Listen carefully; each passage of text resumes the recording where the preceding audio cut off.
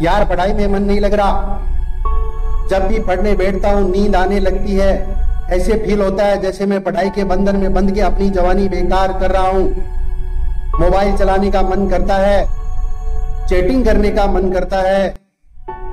दोस्तों के साथ गप्पे लगाने का मन करता है। हर पल यही सोचते हैं पढ़ाई किसने बनाई? यही सोचता हूँ कि टॉप करने वाले स्टूडेंट कैसे बढ़ते होंगे? वो कैसे लाते हैं इतने मार्क्स उनकी मेमोरी इतनी तेज क्यों होती है? कैसे कोई स्टूडेंट एग्ज़ाम में 99 परसेंट ले आता है, जबकि तुम्हें लगता है कि तुम बहुत पढ़ते हो, फिर भी तुम्हारे मार्क्स बहुत कम आते हैं। ऐसा क्या होता है जो एक टॉपर को तुमसे अलग बनाता है? ऐसा क्या है जो किसी और के पास है, लेकिन तुम्हारे पास नहीं है? ऐसा कौन सा काम है जो एक टॉपर कर सकता है, लेकिन तुम नहीं कर सकते? सबसे पहला तो यह कि तुम में और एक टॉपर में बायोलॉजिकली कोई अंतर नहीं होता है। तुम्हारे शारीरिक अंग भी उसी तरह से काम करते हैं जैसे उनके करते हैं। तुम्हारी आँखें भी पाँच को पाँच और नौ को नौ पड़ती हैं। तुम भी सोते हो और एक टॉपर भी सोता है। तुम भी मोबाइल यूज़ करते हो टॉपर भी मोबाइल यूज़ करता है। उसके पास भी वही सिलेबस है जो तुम्हारे पास है। तो फिर फ़र्क किस बात का है? फ़र्क बहुत कम है।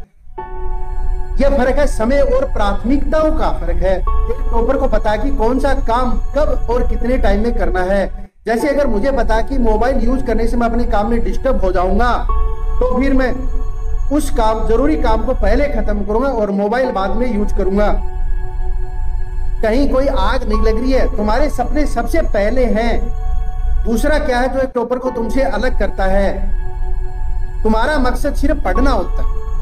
जबकि रटना होता है, मार्क्स लाना होता है, जबकि एक टॉपर का मकसद सिर्फ़ पढ़ना कभी नहीं होता, उसका मकसद कुछ और होता है। पढ़ाई तो सिर्फ़ एक माध्यम होता है जो उनको उनकी मंजिल तक पहुँचाने के लायक बनाता है। इसलिए उनको पढ़ते टाइम नींद नहीं आती, क्योंकि उनको पता होता है कि वह सिर्फ़ पढ़ने के लिए नहीं पढ़ रहे, बल्कि कोई बड़ा काम करने के लिए, अपना नाम करने के लिए पढ़ रहे हैं। और यही बात उनको ताकत देती है। टॉपर कभी रटते नहीं है। वह कॉन्सेप्ट को समझते हैं। उनको प्रैक्टिकल में वे अप्लाई करते हैं। इसलिए वे टॉपिक को कभी नहीं भूलते हैं।